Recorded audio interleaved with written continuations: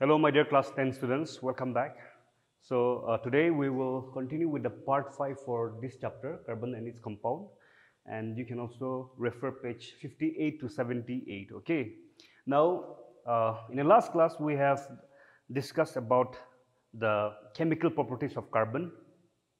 We have already finished this addition reaction as well as combustion reaction. So, today we will discuss about the third chemical property for carbon that would be oxidation reaction, okay? Oxidation reaction. Now, students, in the first chapter, in the chapter 1 chemical reaction and equation, you have already studied that oxidation is to do with adding,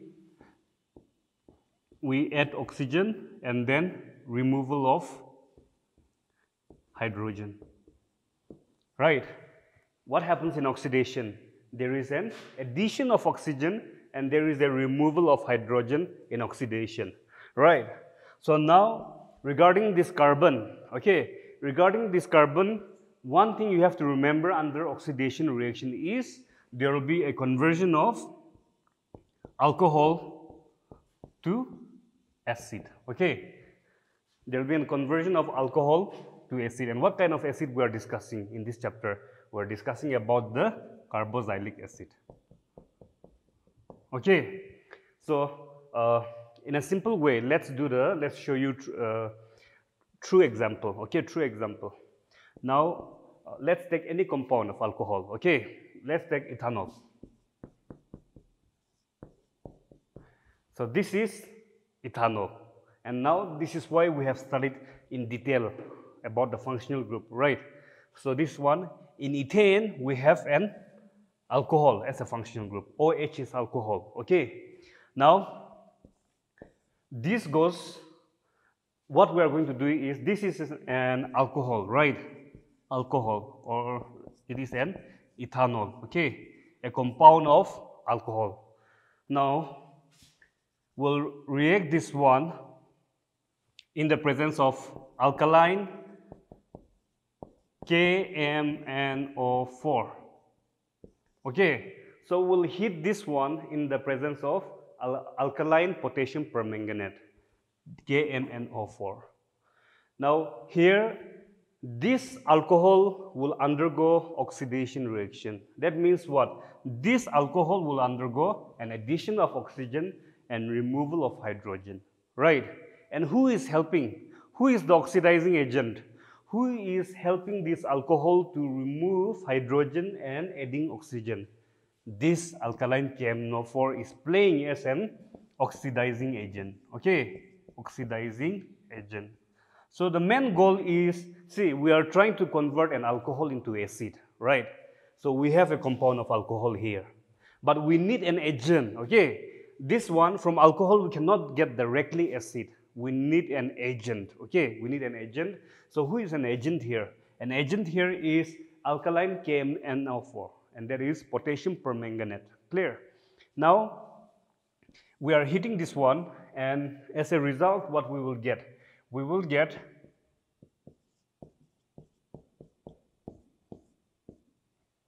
clear? So we will get ethanoic acid so it has already been changed. Now we can see that there is an addition of oxygen, right? Oxygen has been increased. Here we have just one oxygen, clear. So this is the simple uh, concept for oxidation reaction for carbon, okay, for carbon. We are converting alcohol to carboxylic acid. It has to undergo oxidation reaction.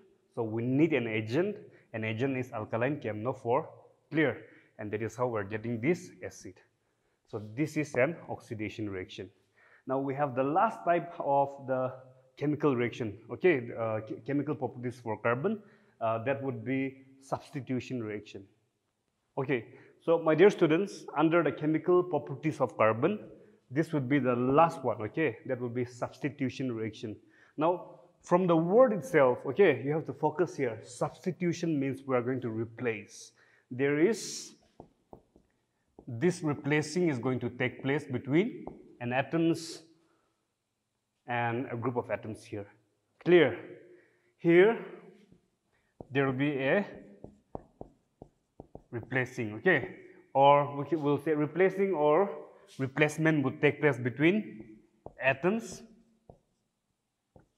or group of atoms clear so let's show you through an example let's take a methane here and let's take here a chlorine so now why i'm taking a methane here okay now why i am taking a methane here is uh, if we react, okay, if we react any saturated hydrocarbon, saturated, this is a saturated, right? If you draw a structure for methane, then you'll get everything a single bond, okay? Now, when we react this saturated hydrocarbon with a halogen, okay, it will react very fast in the presence of a sunlight. Now, here the replacing will take place. Here the exchange would take place okay? That's why we are saying it's a substitution reaction. And now with the help of this sunlight we are able to do this reaction. And this reaction is let me tell you very fast okay? And in the previous one in the last three uh, chemical properties we have used a catalyst right but here we are using a sunlight okay we're using a sunlight to get a product for the replacement. So now what will happen here? So we'll get here. So students, we are getting chloromethane, chloromethane. See, that's why I have already, uh, I, I already told you that uh, IUPAC name and functional groups are very important, right?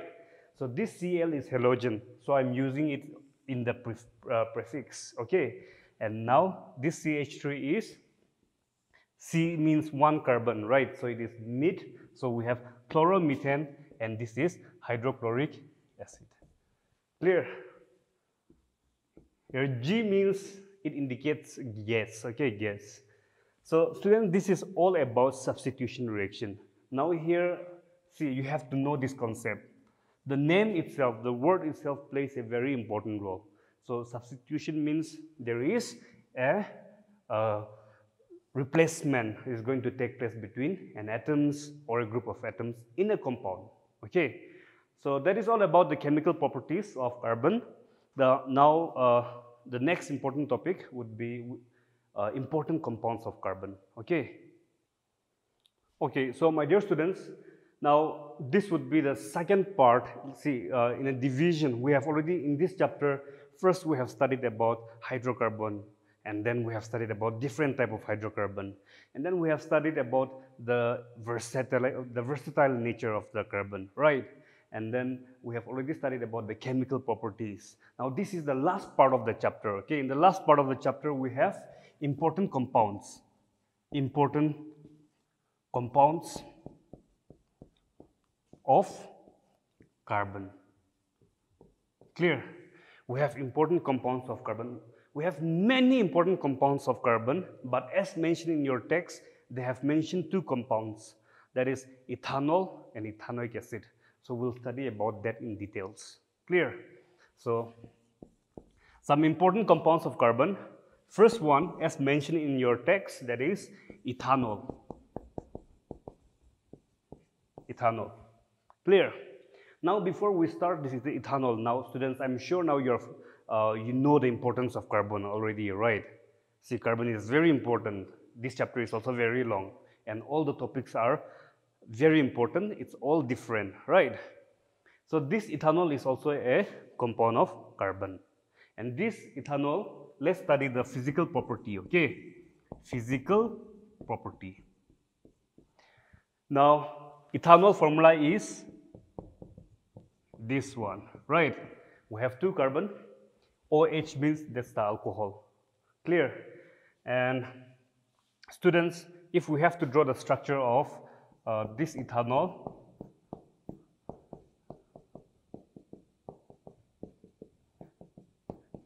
clear? This is the structure.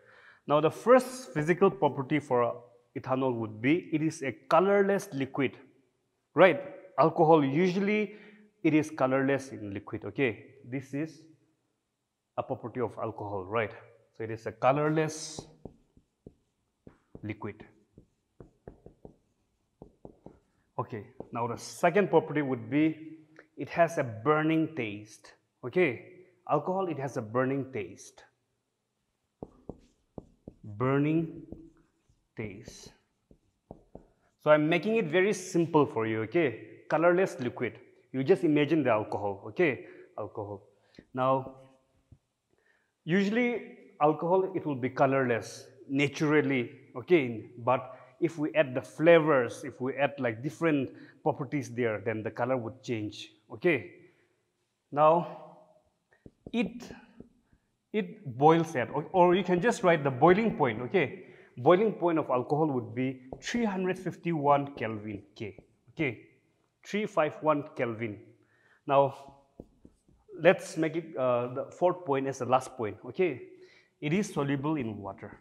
It is soluble in water. So all the alcohol, right, uh, it is mixed with water. Clear? It is mixed with water. That's why we are saying that it is soluble in water. Okay, now we are done with the physical property. Let's discuss about the uses. Okay, uses of alcohol. Ethanol. Uses.